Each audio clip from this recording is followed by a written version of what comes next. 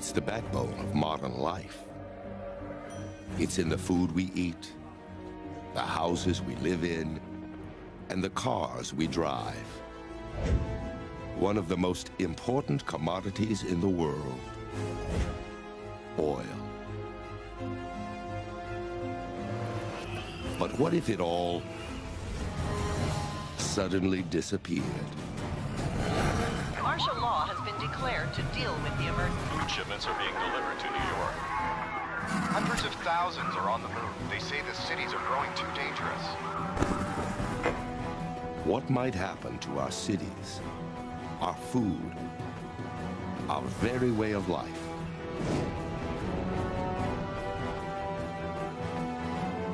Today, our worst nightmare begins. Today, the world runs out of oil.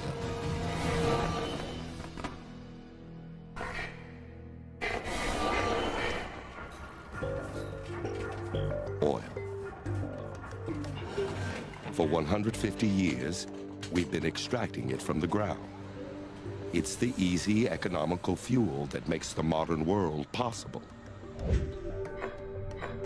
California, the Kern River oil field, a black underground pool that contains more than half a billion barrels of oil, enough to fuel America for four weeks.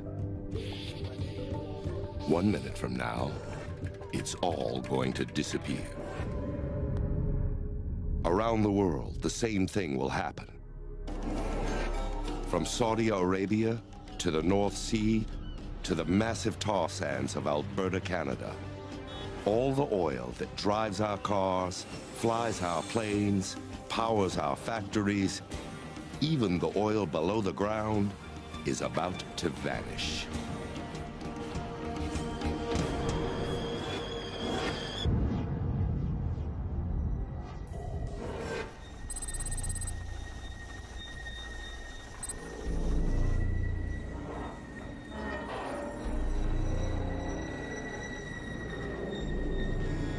Deep underground, the first ominous signal appears. There's something going on. I gotta go. Yeah, going on.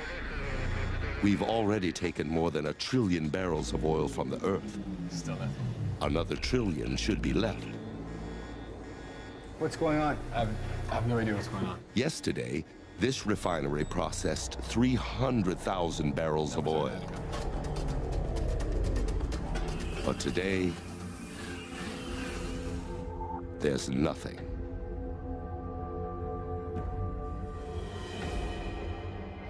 It's a crisis some predicted. Now, it's reality. And the world must react.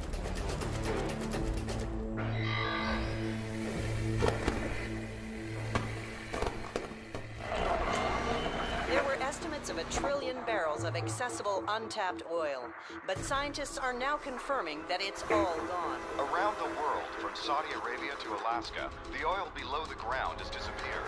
Oil companies say as much as 20 million barrels is left at their refineries, but Companies say it's not just our supply of gas, but diesel fuel, lubricants, asphalt, tar. All of the products that are made from oil will be severely affected if we can't find more oil. Thousands of tankers carrying millions of barrels of oil are on the move.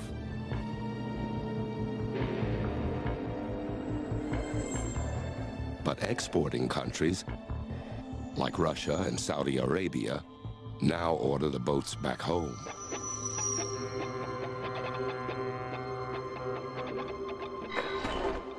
To the U.S., it's a huge blow. It imports more oil than any other country in the world. Every day, the U.S. produces over 8 million barrels of oil, but it consumes more than twice that amount. Now, we're 8 million barrels short and growing.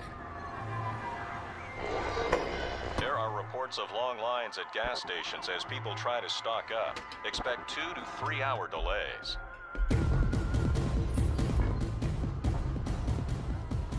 Americans race to fill up their cars. maybe for the last time.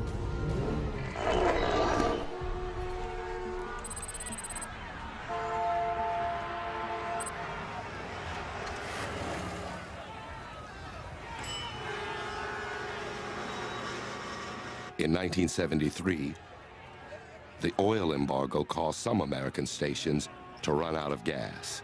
But this situation is far worse. Over 100,000 gas stations across the country are being pumped dry.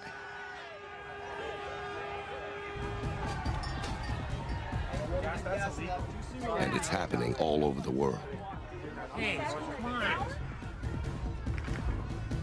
Gas prices skyrocket out of control.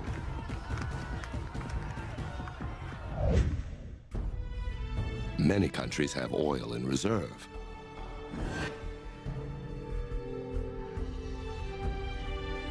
U.S. has 725 million barrels of crude oil hidden away.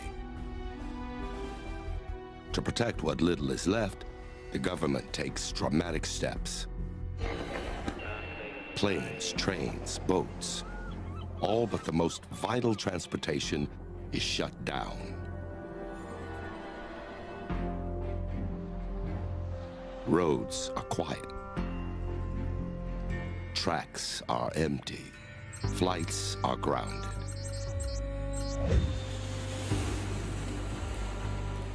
The four million people flying today are now stranded. And so are hundreds of thousands of tons of cargo. Airports are chaotic.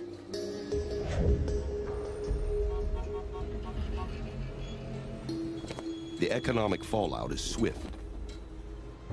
Panic forces the government to halt stock trading, just like after 9-11.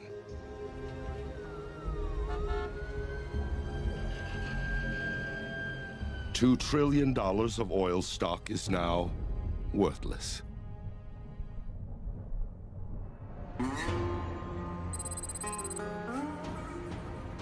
More than 400,000 people working in the U.S. oil industry are suddenly out of a job.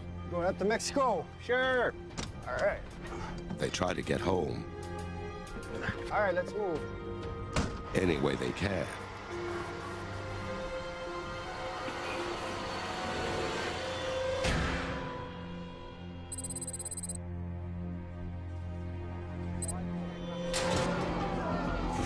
Facing uncertainty about the future, thousands of manufacturing plants close immediately.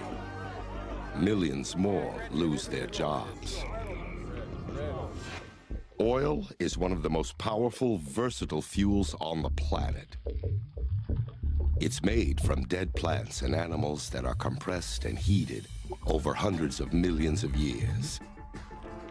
It's in everything from toothpaste to lipstick, polyester to plastics. Now, it's all gone. An enormous chain reaction has been set in motion. What's your name?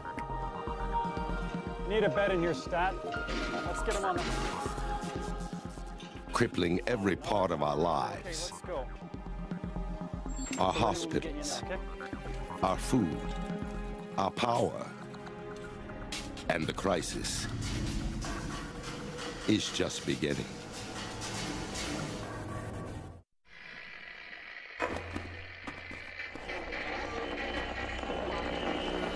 Martial law has been declared. The National Guard is now patrolling downtown Washington and Los Angeles. EU Strasbourg are sending 100 million barrels of oil to England. Stock markets from Tokyo to New York remain closed. Unemployment is over 30%. It's been just five days since the world ran out of oil. And the most basic human needs are suddenly out of reach.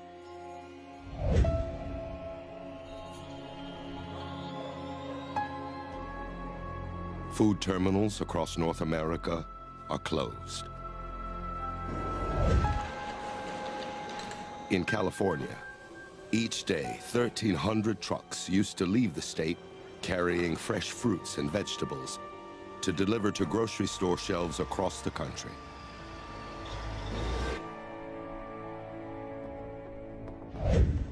Now, the trucks sit idle, and groceries aren't being delivered. New York and other big cities are hit hardest. It takes on average about one football field of farmland to raise enough food for just one person for one year. Without oil fuel transportation, it's nearly impossible to feed a city of millions. A quick trip to the grocery now takes hours.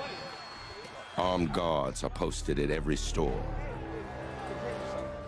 Before the crisis, 30% of fresh fruits and vegetables didn't make it onto shelves because of small imperfections.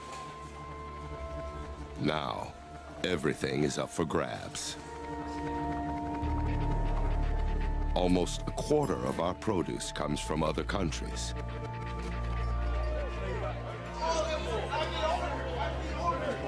But that won't last. Food is disappearing quickly.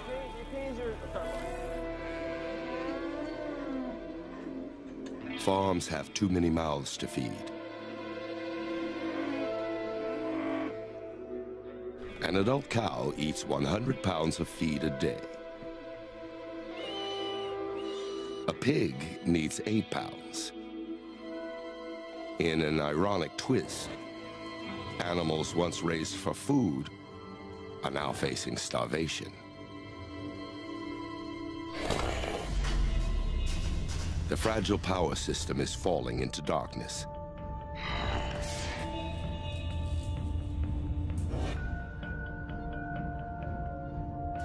Forty percent of the world's electricity comes from coal-burning power plants. This plant in England burns coal that comes from as far away as the U.S. All of it arrives here by train. Each car carries enough coal to power a small town for a day. But without oil, the trains are no longer running. Blackouts spread across North America. Florida is hit hard. It relies heavily on electricity generated directly from burning oil.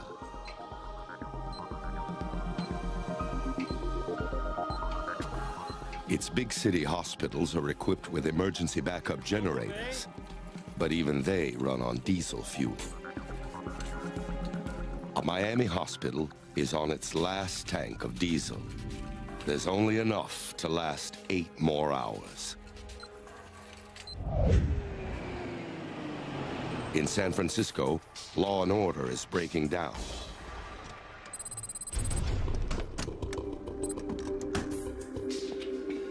Under the cover of darkness, looters begin their work.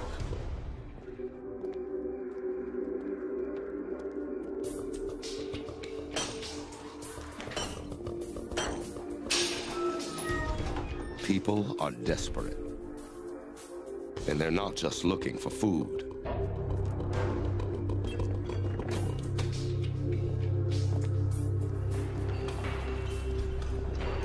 Grease. Haha. Diesel. Yeah. We can use this. Diesel engines can run on cooking oil, new or used. This is what we need. An average car needs around 10 gallons of gas to travel 300 miles. Liquid gold. Diesel engines are 30% more efficient.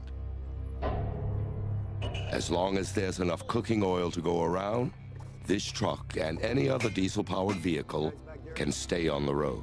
Okay, almost.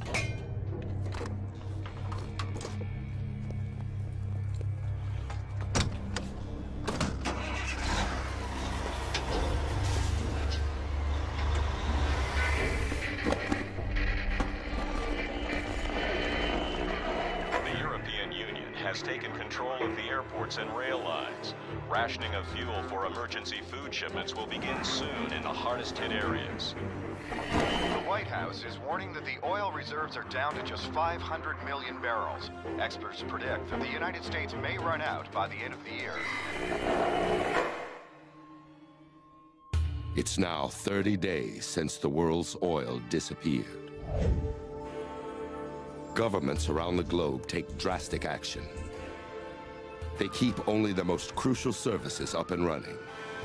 Emergency oil reserves are converted into diesel fuel for cargo trains. These trains deliver coal to power plants to keep electricity on. Some basic electrical services are restored in countries around the world. In North America, electricity is now delivered through a system of isolated power grids. It can no longer be sent from grid to grid.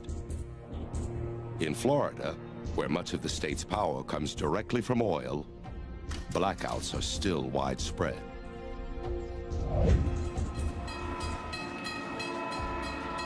Emergency fuel gets passenger trains rolling again. But now, they're carrying food, not people. Transporting food is rapidly draining the world's emergency reserves. The U.S. only has enough oil to last another 11 months.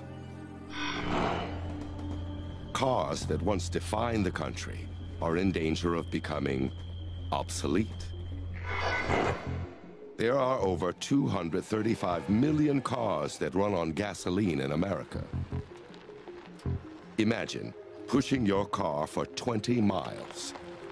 That's the power from just one gallon of gasoline. America needs cars. It's literally built to serve them. Half of the U.S. lives in the suburbs. Before the oil crisis, most of what we consumed was delivered to us. Now, we must kiss that easy life goodbye.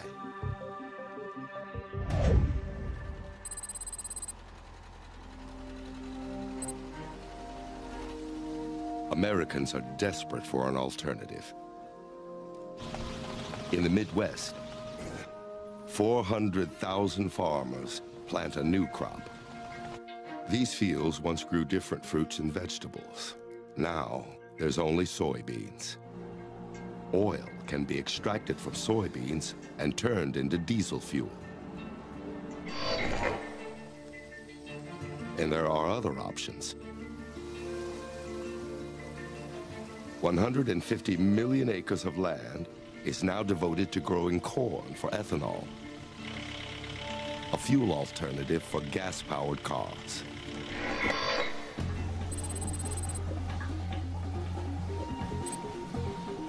In Brazil, cars are still on the road, even without oil.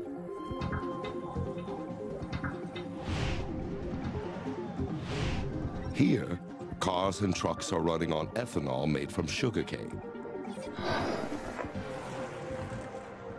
North America is decades behind. But there's still hope that the end of oil may not be the end of the line.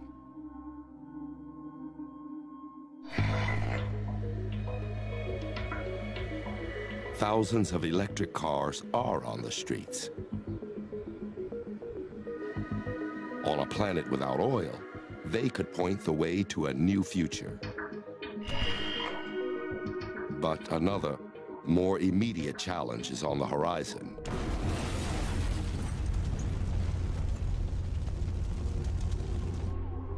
A dark and dangerous winter.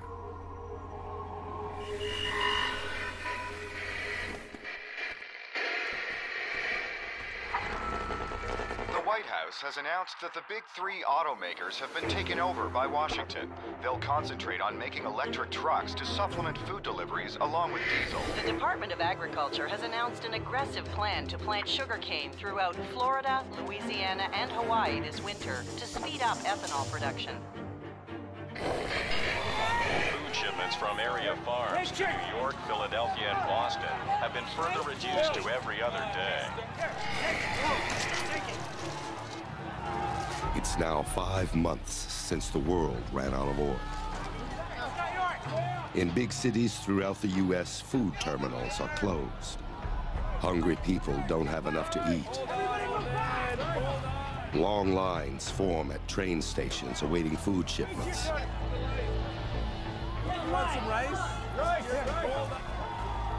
Powdered milk and rice take the place of fresh produce.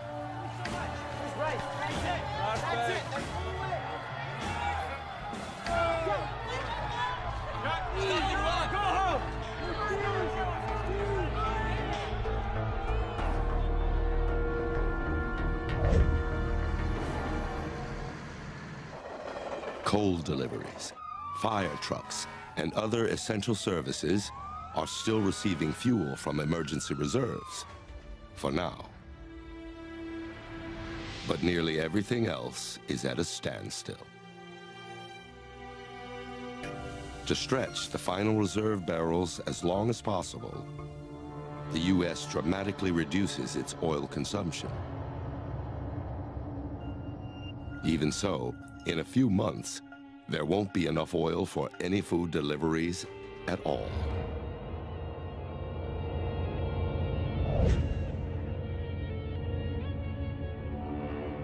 While food is still being brought in, garbage isn't being taken away. Every year, it takes nearly 6,000 trucks burning 20 million gallons of diesel to get rid of New York's trash. In this new world, garbage cleanup is a luxury. Even with blackouts, growing hunger, and a looming winter, North America is doing better than most.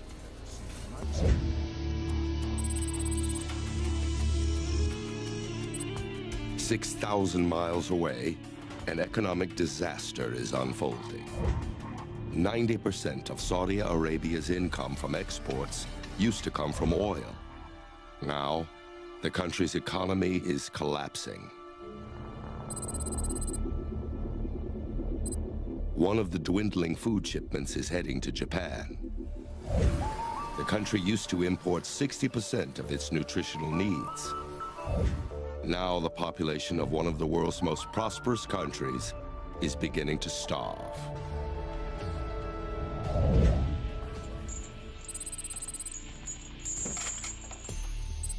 Back in the US, people are getting desperate, and they aren't waiting on the government for answers.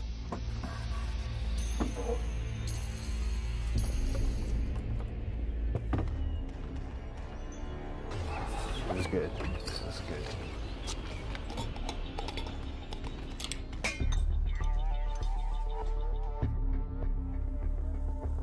Garages and basements are now makeshift laboratories Ready for next one?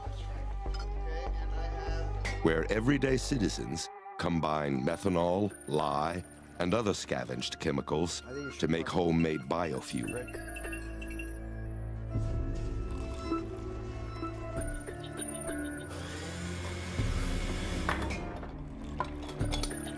I think this one's ready and you can get... It's a dangerous gamble, but if it pays off, it could fuel an escape out of the city.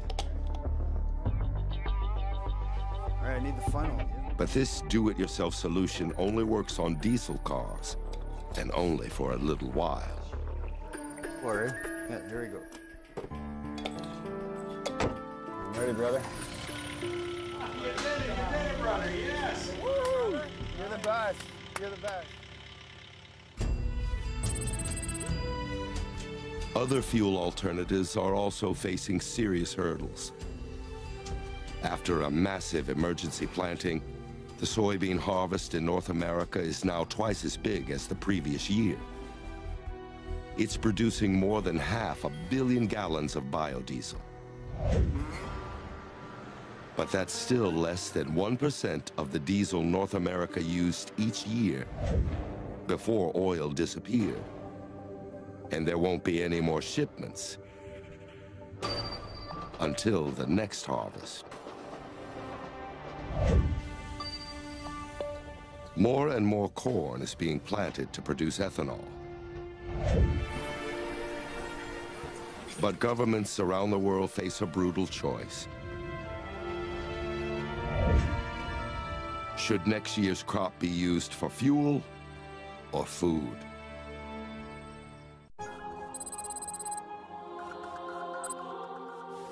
In a world without oil, hospitals are running out of critical supplies.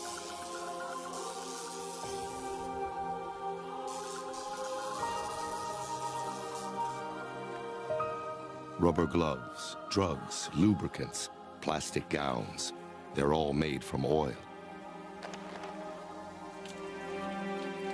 Without them, drug-resistant infections are spreading quickly.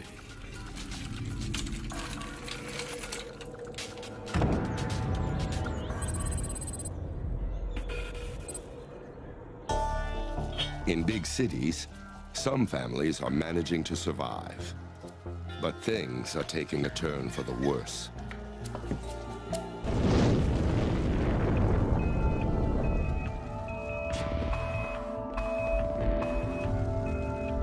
Electrical transformer fires that used to be a minor nuisance now spell major disaster.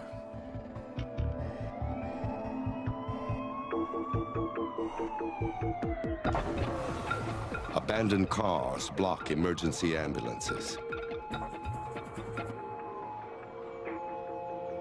And to make matters worse, winter's coming. Put in all your winters. For millions, it's time to make a decision. Hunker down in a crowded, dangerous city, or get out.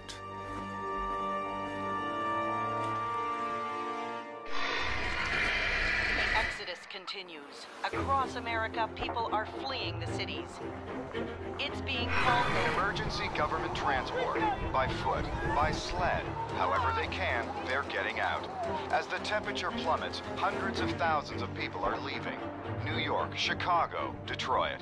They're heading Throughout Europe, the destinations are Spain, Greece, and southern France. All are being overwhelmed by desperate immigrants trying to escape numbing cold.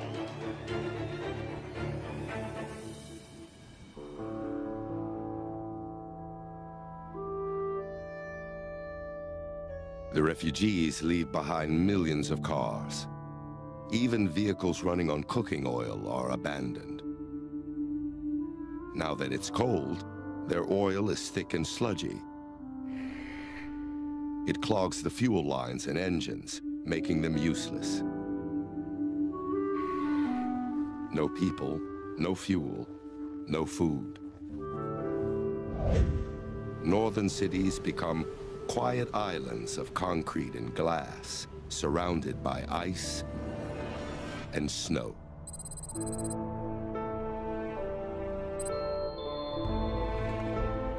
Most people head south, There's some, all right? but some flee further north.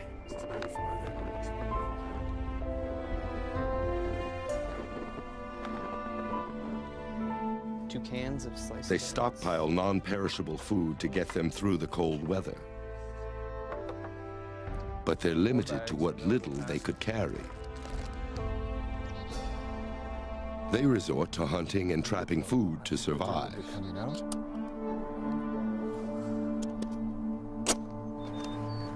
An adult male needs about 210,000 calories to get through the winter.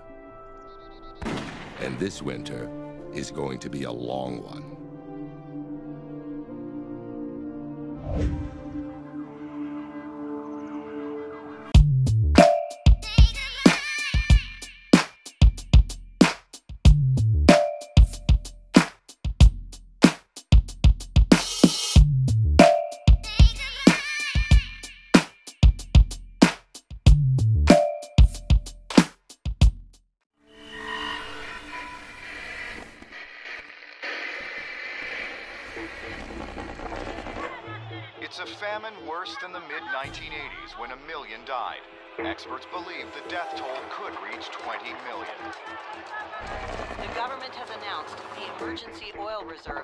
Fallen to less than 250 million barrels. Two of the four installations are... It's one year since the end of oil.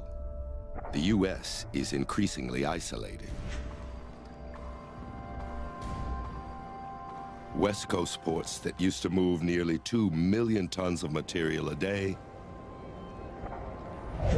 are now eerily silent.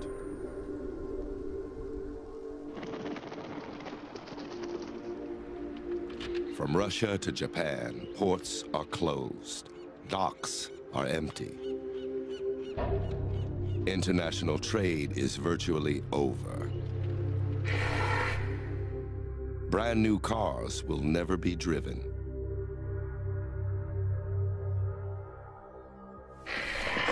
The world's military is defenseless against the oil crisis. The U.S. Department of Defense used to spend nearly $180 billion a year on oil, making it the country's single largest consumer of fuel. Now, its tanks and planes sit empty. They're simply too expensive to run.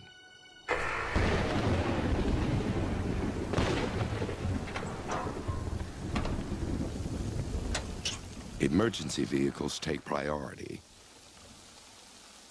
They now use simple conversion systems to run on ethanol to keep life-saving services up and running.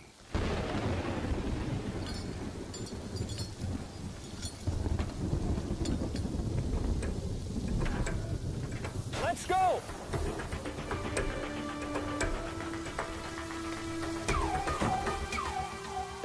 But plants grow slowly, and the demand for fuel grows quicker by the day. It's leading to tough decisions.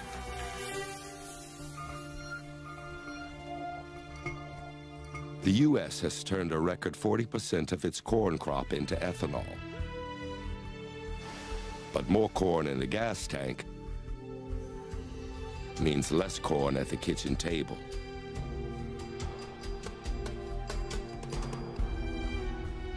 And the nation is hungry. And ethanol isn't making much of a dent. Not everyone's back on the road. Fewer cars are a blessing for some. Before, hundreds of millions of animals were killed on highways. Now, populations of moose, deer, even frogs explode.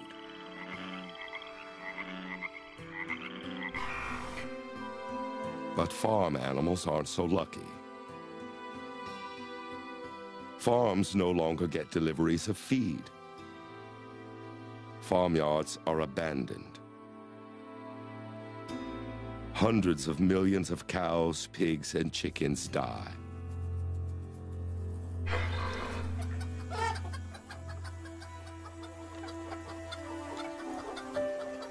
The hands of time seem to slowly move backwards. As factory farms collapse, many people return to a simpler way of life. They're left with no choice but to eat what they can grow. Global food production is now increasingly local. Farms spring up in empty city lots. In suburbs, families plant whatever they can.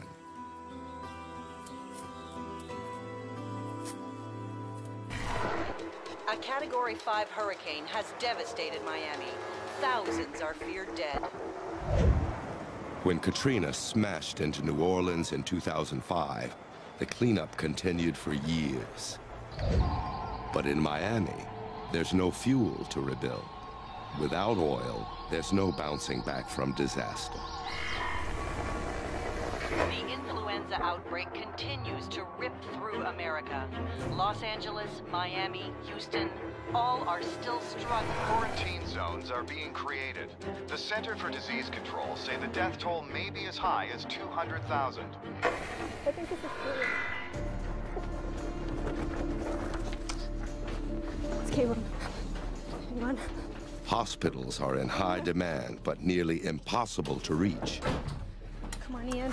Some people have saved gasoline for an emergency trip like this. But there's a bump in the road. Hoarding gasoline doesn't work. The chemicals that once kept it fresh now degrade the gasoline. After a year, this fuel goes bad. What's going on? We gotta run.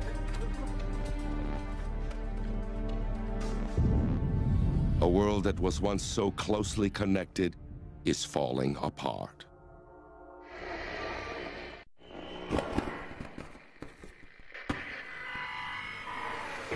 The price of lithium, needed for thousands of electric batteries, has soared again, as much as 300%. The abdication of the Saudi royal family is a shock. Immigration unrest in Spain and Portugal. New York has declared a state of emergency to deal with a chronic food. It's a migration that's never been.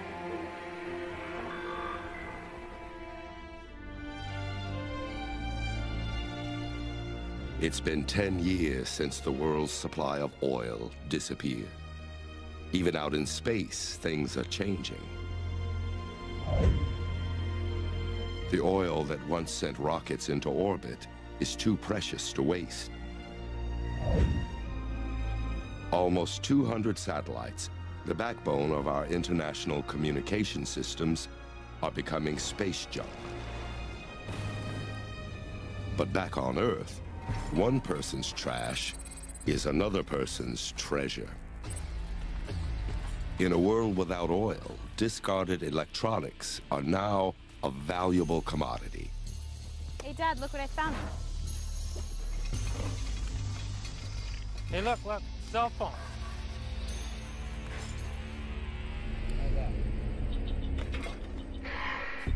A ton of used cell phones contains almost 10 ounces of gold, nearly 300 pounds of copper, and over 6 pounds of silver, vital materials in a world where trade has stopped.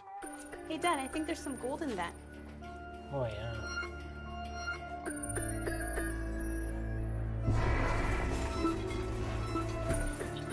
And it's not just electronics.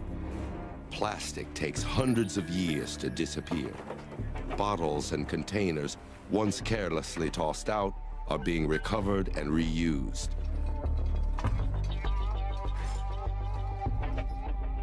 People are recycling in ways small and large.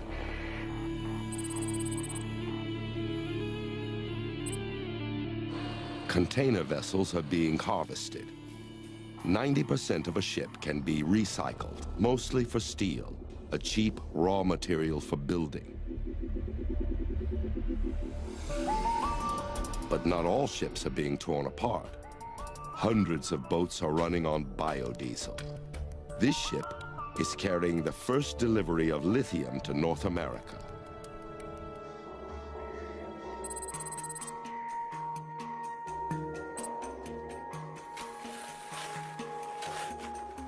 The lithium comes from Bolivia, where it's mined from the country's salt flats by the ton.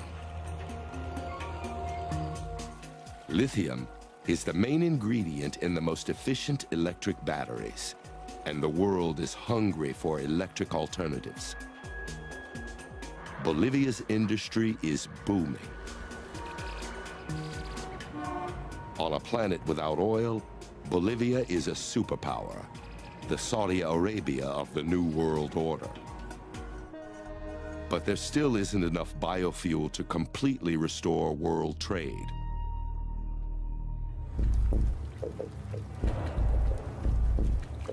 But there's hope. In algae. Algae can be processed into oil and produce 30 times more energy per acre than other biofuels. It's completely renewable and requires very little fertilizer. 10 years after oil, 10 billion gallons of biofuel made from algae are in use. But that's still not enough biofuel to get us back in the air. Commercial flying for cargo and for passengers is still way too expensive. 34 million passengers used to come through this airport every year. Now, it's silent. Other transportation is filling the void left behind.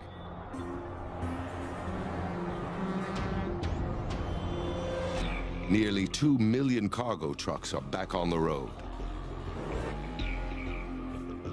They bring hospitals, vital supplies, gloves, syringes, and tubing, now made from natural gas. City hospitals are clean and safe and ready to serve again.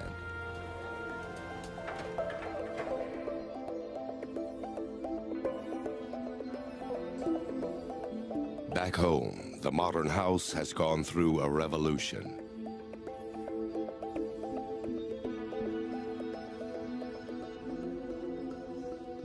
The human toll has been great. Communities are fractured. Families have lost loved ones.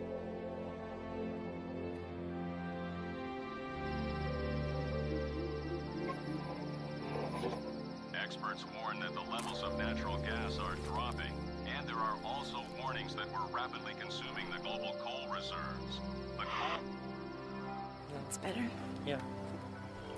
The world is struggling to find a new balance. And it could take decades.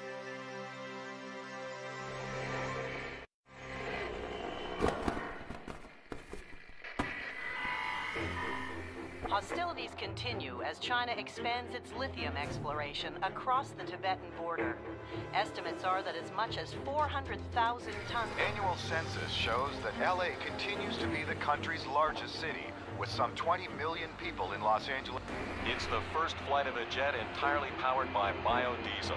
The company says it's planning six transatlantic flights a year. It's been 40 years since the world's supply of oil disappeared. The skies are noticeably cleaner. No more oil-based jet fuel. No more car exhaust. No more factory pollution. In Canada, the US, and Mexico alone, three and a half billion tons of toxic pollutants have vanished every year since the global oil supply ran dry. In North America, people are venturing back into northern cities. They're transforming the ruined roads and buildings. Abandoned apartments become greenhouses. People are farming in downtown New York.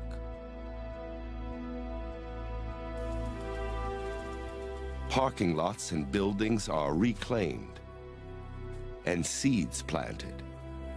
New York City's Central Park is now a massive 800-acre farm that helps feed returning residents.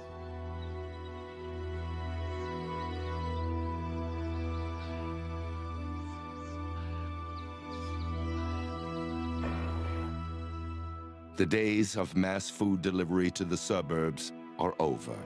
Stores are abandoned and forgotten. Gasoline is completely gone. The emergency oil reserves are empty. There are a few cars left on the road, but they're much different than before. Average cars used to weigh 4,000 pounds. New vehicles are much lighter. Their bodies are no longer made from metal. They're made from lighter materials like carbon fiber instead. And they're powered by electricity.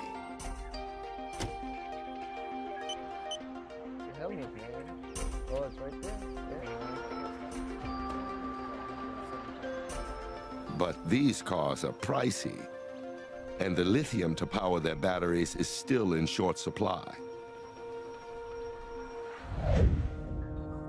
Large fleets of container ships and trucks are moving again.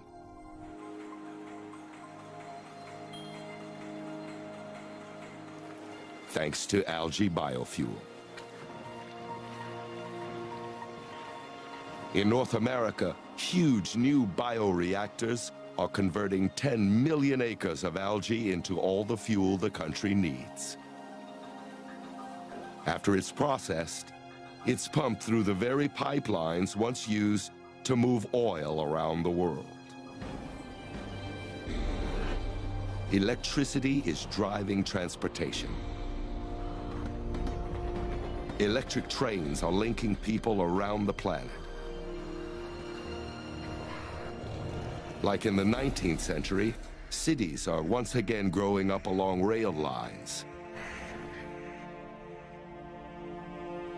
Other cities are abandoned.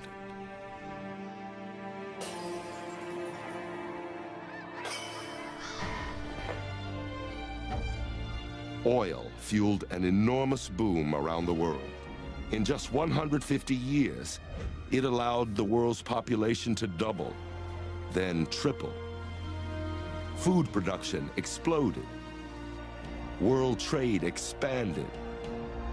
It was a wild ride, but someday it had to end. Without oil, our cities, our skies, our roads are nearly unrecognizable. Now, society has a second chance to reimagine itself after oil.